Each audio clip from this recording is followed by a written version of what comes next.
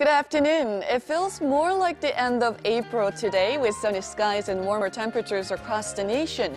Single-digit morning lows are breaking into 20s this afternoon, so there's huge gaps in temperatures. Afternoon highs in Seoul and Busan will get up to 19 degrees Celsius, while Daegu will make it to 22 this afternoon. Sunny skies are expected in the entire nation, so have some sunblock and sunglasses ready before heading out.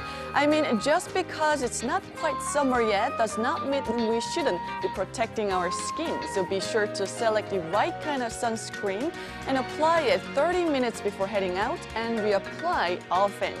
Now, those of you in Gwangju and Jeollado province will need to have a face mask ready as well because we'll have high levels of fine dust throughout the day today.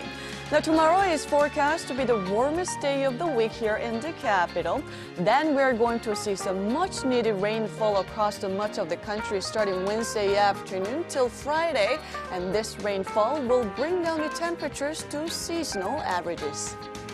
That's Korea for you, and here's the international weather for viewers around the world.